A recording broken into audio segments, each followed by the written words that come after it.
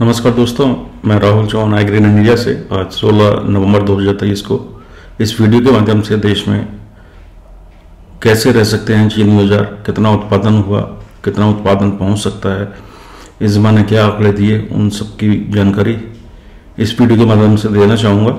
दोस्तों, अगर आपको वीडियो पसंद आया तो कृपया इसको लाइक करें, सब्सक्राइब करें और अपने विभिन्न व्यापारी भाइयों को भेजें ताकि समय समय पर आपको एग्री कमोडिटीज़ का अपडेट मिलता रहे। इस वीडियो को बनाने का मकसद केवल आपको जानकारी देना है। कृपया कार्य अपने विवेक से करें। आइए बात करते हैं कि इजमा ने इस साल और बीते साल चीनी का क्या उत्पादन अनुमान दिया था।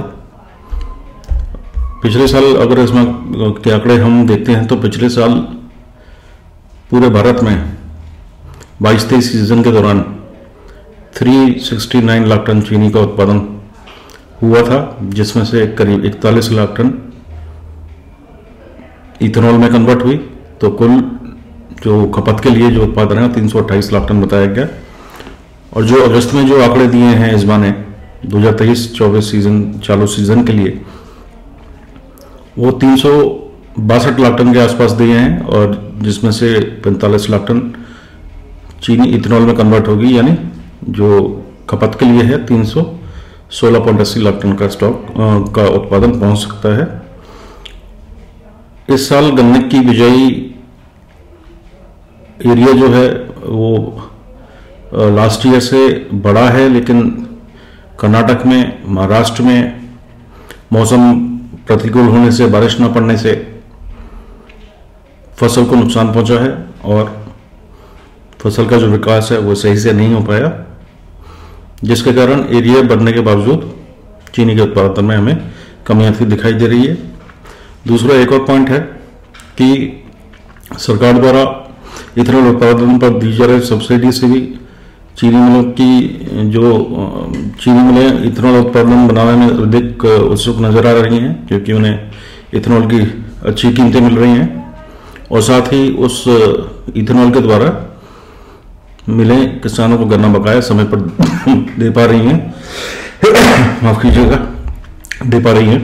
तो इस साल चीनी के उत्पादन में हमें भी लगता है कि गिरावट आ सकती है और उत्पादन 310 लाख टन में समझ सकता है और इथेनॉल के इस्तेमाल के बाद।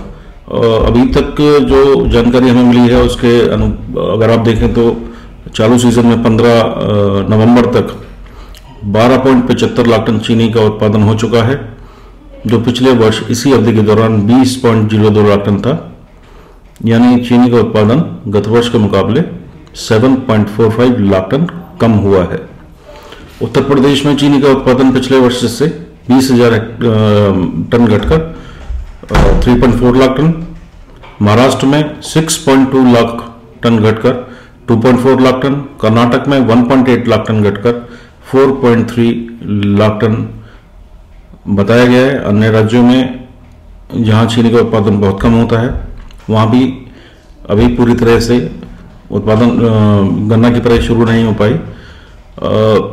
तो इससे बाजारों पर क्या असर पड़ेगा उसकी जानकारी देना चाहूँगा। इस, आप देख रहे होंगे कि पिछले दो तीन महीनों से सरकार ने, उपभोक्ता मंत्रालय ने दो दो लॉट में चीनी कोटा जारी किया है। इस बार भी इस तरह से कोटा जारी किया है और कुल कोटा तेईस लाख टन रहा है।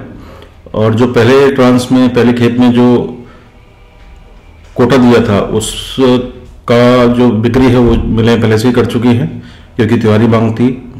और अभी जो एक्स्ट्रा आठ लाख टन का दिया है, ये खपत को हम देखते हैं तो उससे कम बताया गया मांग जो है वो चीनी की लगातार बनी हुई है। इसके कारण चीनी बाजारों में तेज़ी का माहौल बना है। चीनी की कीमतें अच्छी चल रही हैं। आगे क्या होगा उसके बारे में बताना चाहूँगा कि अगर चीनी की कीमतें ऐसे ही बढ़ती रहीं तो कोई बड़ी बात नहीं कि तीसरा कोटा भी इस महीने जारी किया जा सके या फिर दिसंबर महीने का कोटा पहले से ही घोषित किया जा सके, जैसे पहले भी किया है। तो कुल मिलाकर चीनी में मुनाफा वसूली बिक्री करते रहें और जैसे जैसे चीनी का उत्पादन पीक पर होगा, चीनी का उत्पादन पीक पर होगा तो उसकी जो उपलब्धता है, वो बढ़ेगी और कीमतों पर थोड़ा सा दबाव बन सकता है। तो समय समय पर मुनाफा वसूली विक्री करते रहें। गिरावट की कोई बात नहीं है। चीनी की कीमतों में गिरावट की आशंका बिल्कुल बहुत कम है। एक्सपोर्ट भी बैन है और इसमा के अगर आंकड़ों की बात करें तो जो दो सौ पचहत्तर लाख टन की खपत को मिलाएँ और तीन सौ सत्रह लाख टन के उत्पादन का अनुमान लगाते हैं तो सीज़न सीज़न के अंत में, चालू सीज़न के अंत में बयालीस लाख टन चीनी का सरप्लस स्टॉक मौजूद रहेगा। और जिस, अभी देखना होगा कि उत्पादन किस प्रकार रहता है विभिन्न राज्यों में, उसी के हिसाब से चीनी एक्सपोर्ट पर सरकार विचार करेगी। हमारा मानना है कि चीनी का एक्सपोर्ट जो है वो चालू चीनी वर्ष में भी प्रतिबंधित रह सकता है। विश्व में चीनी की भारी कमी है। आईसी कच्ची चीनी वायदा बाज़ार अब तक के उच्चतम स्तर पर पहुँचा है। ब्राज़ील में भी मिले चीनी की जगह इथेनॉल के उत्पादन में ज़्यादा उत्सुक नज़र आ रहे हैं। तो कुल मिलाकर विश्व में चीनी की उपलब्धता घटी रहेगी। थाईलैंड में भी उत्पादन कम है।